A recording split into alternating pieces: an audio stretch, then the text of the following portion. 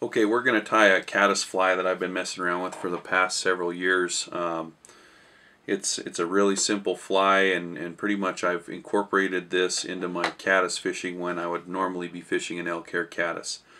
Uh, for a hook today I either use a Daiichi 1130 hook or this one's the new Allen um, N205. It's a barbless hook. It's got a nice bend to it, a little bit offset and uh, found it to be a really good hook. We're going to use some Worm Brown Ultra Chenille for this pattern. Um, and I'm going to take a little bit, I'm just going to singe the edge or singe it down so it goes to a little point. Um, probably not completely necessary, but it makes it look better. Uh, I'm just using UTC 70 uh, in wood duck color, but uh, the, the color of thread doesn't necessarily matter on this one. And I'm only going to dress the hook to about here, a little bit less than the midway point of the hook. I'm just going to take this chenille and I'm going to make it poke out just a little bit past the bend of the hook and I'm going to tie that in.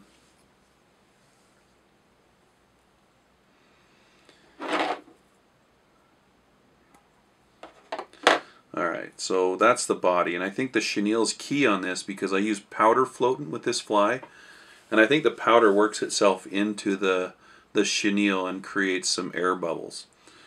Um, okay, so basically it's just going to have the body, some CDC on top of the body, and then an hair wing. Um, what I've got here is just two small pieces, or two full feathers of uh, CDC. This is Montana Fly CDC. It's, it's really good stuff. And this is dun colored. You can also use tan or natural. And I'm just going to put that so it's a little bit shorter than the body and I'm going to tie that on. Um, now one of the things that I started doing a long time ago is instead of just trimming this off, I'm going to double up the, the CDC so I can maximize these feathers that I have. So what I'm going to do is I'm just going to take these two feathers and I'm going to fold them back on top of the other two and wrap that down. And instead of coming in here and trimming it straight off, I'm just going to come up at an angle and trim those off. Now if you look at that, you can't even tell where the stems are. It just looks like a big bunch of CDC, which is ideal. Okay, the next step is not necessarily something that you have to do, but I do it sometimes to make the fly more durable. So I'll just tag it with a little bit of super glue, just using Zap-A-Gap here. The next step is I'm just going to co cover this up with a little bit of dubbing. I've got some uh, Arizona synthetic dubbing in a cinnamon color. So I'm just going to wrap this around uh, where I tied in all that stuff and then I'm going to leave my thread hanging right in front of that. I've got some elk hair. You see I haven't uh, stacked it yet. I'm going to sh shove it in the, the hair stacker. Get the tips all nice and aligned. And I'm going to tie this, this hair in right on top of, of the CDC about the same length. Now what I'm going to show you here is going to help you with your elk, elk hair caddis. This is a, a fly that a lot of people struggle with because of the hair part. But what I'm going to show you is a tip to make it durable, but it will also make it so it won't spin all around the hook shank. So essentially I'm just going to lay it on the top and I'm going to pinch it.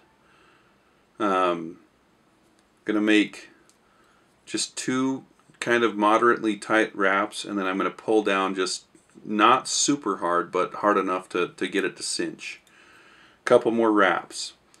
Now I'm going to let the tension off of the thread and I'm going to grab about a fourth of the, the butt fibers and I'm going to do that again. I'm going to wrap in front of those, about grab another fourth, wrap in front of those until I go all the way up through the, the thread to the eye of the, or through the, the hair to the eye of the hook. Now what I've done is I've created multiple tie-in points for that head and it's not going to rotate around. Um, so now I'm going to do is just whip finish.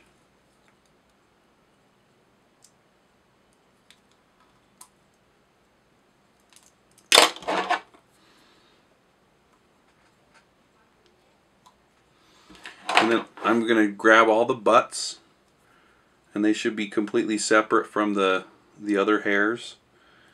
And I'm just going to trim those off right above the eye, like that. So anyway, that's that's it. That's pretty much it. I tie this in an olive color as well. Um, this is a really good pattern to skate. So at night time when that caddis hatch is going off, cast it out right when it hits the water, twitch it a tiny little bit, and that's usually when you get hit. But anyway, this is the Palomino caddis. Excellent fly for caddis hatches.